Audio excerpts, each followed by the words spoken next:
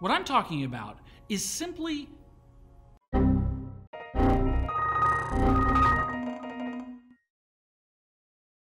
Hey folks, this is Alexander Winn, the founder of Edgeworks Entertainment and creator of TerraGenesis. And if you know anything about TerraGenesis, it's probably that it's based on real science. It's a huge part of the game, and it's a huge part of how we talk about the game. And today, I want to talk about why. Now, there are a lot of ways that Genesis is based in real science, but one of the ones that I enjoy the most, and I know a lot of players enjoy the most, is the planets. A lot of games are based on Mars, but for the most part, they're not really based on Mars. They're just red landscapes. They could just as easily be Utah.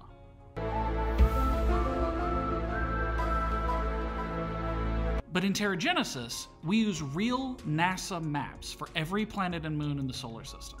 So when you watch the sea levels rise on Mars in your game, you're actually seeing what the real seas of Mars would look like. They fill in the lower elevation areas first, so you get gorgeous crater lakes and northern hemisphere seas and all sorts of things. Because that's what Mars really looks like. And yet, strangely, of all the dozens and dozens of games that have ever been set on Mars, we're kind of alone in that. I'm sure there are a couple of others, but for the most part, games set on Mars aren't really set on Mars. And that's a huge missed opportunity. One of the ways that I often talk about this with people is in terms of movies. Now, imagine that you were a film director and you realized that no one in history had ever set a movie in Paris. Bru. It had just never been done. Nobody had ever thought to make a movie in the city of Paris. What an incredible opportunity that would be you could do anything. There's so many cool parts of that city. There's so many different genres of film that you could set in Paris. You could make a, a romance, of course. You could do a period piece set during World War II or the Middle Ages or anything. You could have the main character have a spiritual awakening in a cathedral. You could set a period palace intrigue story in the Palace of Versailles.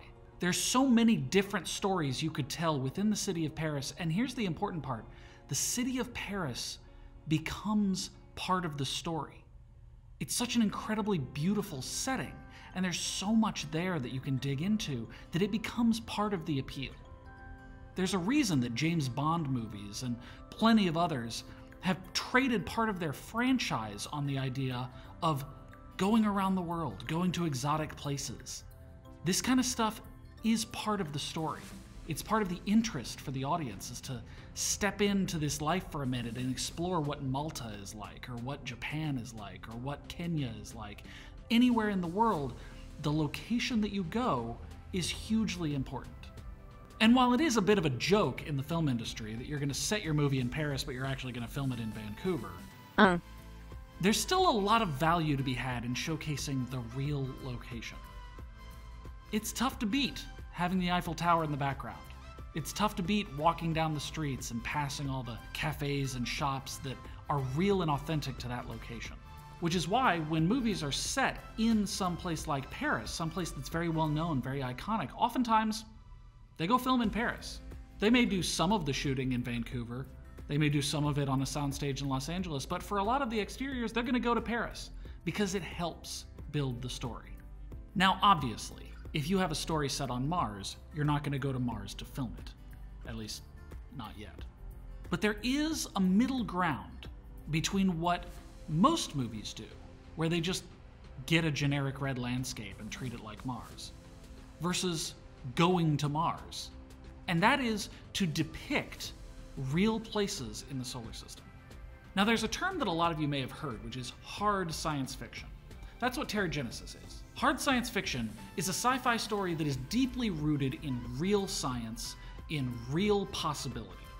You might take as an example of hard science fiction The Expanse. It's got some fantastical elements, but a lot of it is very realistic. And you can compare that to a story like Star Wars. Also set in space, but it's got magic and wizards and all sorts of things. They don't really put a lot of effort in Star Wars to getting things scientifically accurate. And that's fine. That's not what we look for in Star Wars. Star Wars is soft sci fi, The Expanse is hard sci fi. But that's not really what we're talking about here. I'm not talking about basing your story in science top to bottom. We're just talking about the setting. We're talking about capturing the magic of the James Bond moment where it cuts to Morocco and you realize, ooh, we're going to an exciting new place in this story. That kind of thing is possible in science fiction. And there is so much untapped potential in our solar system alone for new stories to take us to new places that really exist. Now, this isn't a totally new idea. There are movies and TV shows that have taken us to the surfaces of other worlds and tried to do them justice. There are plenty of movies set on the moon, and more or less get it right. There are several movies set on Mars, and a few of them, like The Martian, try to locate the character in a specific place on Mars and depict that area accurately. But once you get past the moon and Mars, it starts getting really thin really fast. For all the public fascination with Pluto, there aren't a lot of movies set on Pluto. Venus is the very next planet in the solar system, and I've only ever encountered one thing set on the surface of Venus, and that's a TV show called Defying Gravity for one episode. Mercury, Jupiter, Saturn, Uranus, Neptune, any world in the solar system. Maybe you've heard of one movie that goes there? There's the Europa Report set on Europa. Io, Ganymede, Callisto, there are hundreds of planets and moons in our solar system that have never been touched.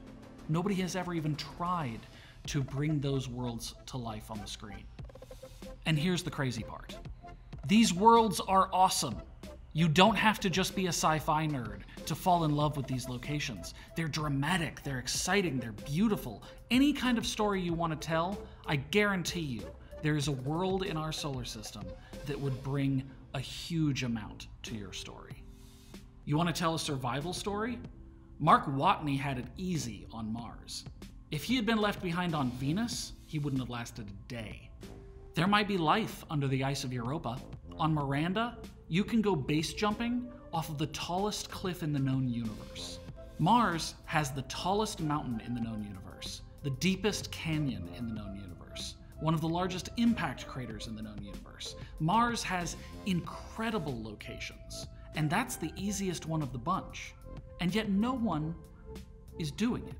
No one is making movies and TV shows that actually explore these locations. It's literally like realizing that you're the first filmmaker to make a movie set in Paris. You have entire worlds available to you, actual places that people will one day walk, and you could be the first person to make a movie that brings that place to life. You could take audiences to the surface of Venus for the first time. Humans have been looking up in the sky and watching Venus for millennia and you could be the first person to bring that to a mainstream audience. It absolutely mystifies me why nobody's doing this. Like, why is there not a gold rush of filmmakers trying to make movies set on other planets? It's insane.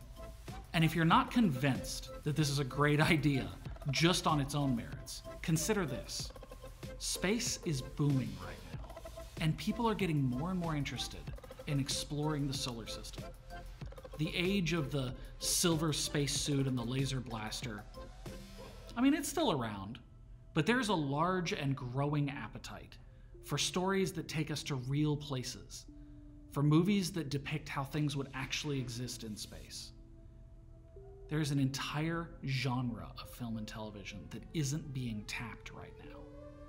So if you're out there and you're a writer or a filmmaker or a game designer, Consider setting your next story on Venus or Mars or Mercury or Io or Europa or Ganymede or Callisto. There's so many worlds out there, and each one is unique. Each one has unique challenges, it has unique settings, it has its own look, its own art. There's so much out there that you can use free of charge. It's as easy as setting your movie in Paris. That's all I've got for this week. Thank you for watching. Be sure to subscribe and hit the bell so that you can get all of our upcoming episodes. We've got a lot of cool stuff coming your way. In the meantime, post in the comments and let me know what you'd like me to discuss next. And as always, happy terraforming.